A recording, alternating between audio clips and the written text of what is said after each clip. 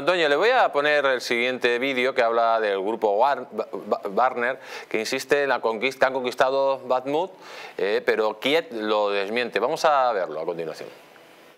Las armadas de Ucrania han elevado este lunes a más de 175.000 el número de militares de Rusia muertos en combate desde el inicio de la invasión, desatada el pasado 24 de febrero del año pasado por orden del presidente ruso Vladimir Putin, en un momento en el que los combates se centran en la región de Donetsk. Y precisamente en esa zona, el fundador y propietario del grupo Wagner ha anunciado en la noche de este domingo que las tropas rusas ya controlan el centro centro de la ciudad ucraniana de Bakhmut, en el este del país.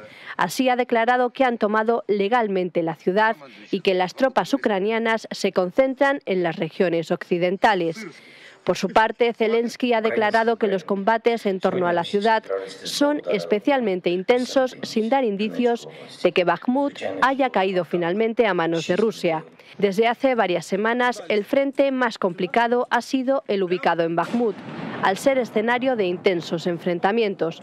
El propietario del grupo Wagner aseveró hace unos días que los combates en torno a esa ciudad prácticamente han destruido el ejército de Ucrania. Don José Antonio Vera em, se ha tomado, según el representante del grupo Wagner, se ha, tomado eh, han tomado el centro de Mahmoud, hay pequeña resistencia, pero prácticamente la ciudad está tomada. Y dice algo muy importante, dice que prácticamente ha acabado con la mayor parte del ejército ucraniano en esta ciudad. Es verdad que las bajas rusas han sido también brutales, pero yo creo que los rusos están haciendo la guerra al estilo Segunda Guerra Mundial, o como la batalla de Stalingrado, que murieron muchísimos más rusos y más civiles que los alemanes, pero al final vencieron, ¿no? ¿Puede ser esta la estrategia que están aplicando el ejército de Putin? Eh, probablemente sí, ¿no? Porque los, eh, los rusos siempre han sido muy conservadores, eh, y aunque parezca lo contrario, en, en, esto de las estrategias militares desde la época de Napoleón e incluso antes vienen aplicando las mismas, ¿no? Teniendo en cuenta las circunstancias que tienen sus territorios y su ejército, el hecho de que tienen una muy grande población.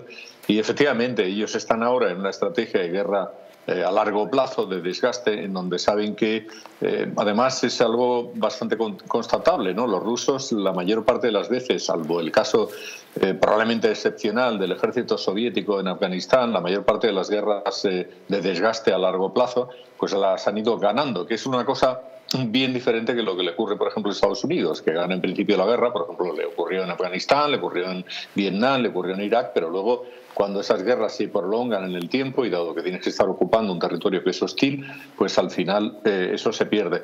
Claro, aquí a, Rusia le pasa una cosa, que es que ellos generalmente están defendiendo su territorio. Aquí están eh, podría decirse que, vamos, se dice realmente es una guerra de ocupación. Están ocupando un territorio que era de Ucrania, aunque ellos lo que dicen es que es un territorio de toda la vida ruso, ¿no? Y que por eso lo están ocupando. Bien, estas son las estrategias.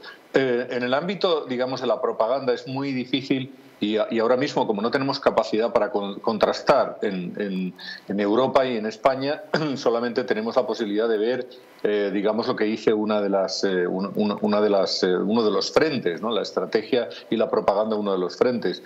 El otro frente pues tenemos que andar por aquí, indagando por aquí por allí, Latinoamérica, a ver qué es lo que dicen, y se llega a veces esa información como esa que usted citaba del jefe de los mercenarios Wagner, los mercenarios Wagner eh, son eh, eh, un ejército muy profesionalizado que efectivamente pues están a sueldo, pero cuidado, como lo tenía Estados Unidos en, Irak y Afganistán, y como, pues, por ejemplo, lo tiene Ucrania también. Lo que pasa es que los de Ucrania, que se llamaban Mozart, pues no han funcionado tan bien como los Wagner, que efectivamente pues, son los que le están dando en este momento unas victorias más importantes a los rusos. ¿no?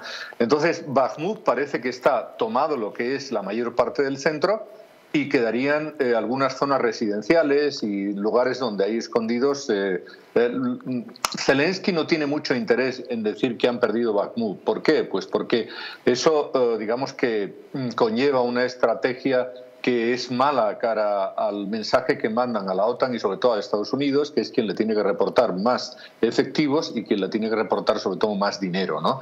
Y sobre todo ahora que están llegando los primeros eh, carros de combate, se, ha constatado que han llegado 57 de los 290 carros de combate occidentales y en concreto se ha visto ya en la zona de Donbass a, carros de combate Challenger eh, de, la Gran Bretaña que, como usted bien sabe, van equipados con ese tipo de munición eh, verdaderamente complicada y conflictiva como es el uranio empobrecido que se utilizó, lo utilizó la OTAN en Yugoslavia, lo utilizó la OTAN y Estados Unidos particularmente en Irak y que aunque no sea el uranio enriquecido, que tiene unas consecuencias desde el punto de vista de la radioactividad, como bien todos sabemos que es devastadora, pero que sigue teniendo problemas de radioactividad porque al fin y al cabo es el, mismo uranio con una densidad menor. ¿no? Mm.